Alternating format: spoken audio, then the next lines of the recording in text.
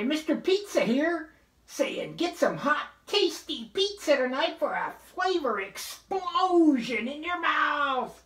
Hot pizza tonight.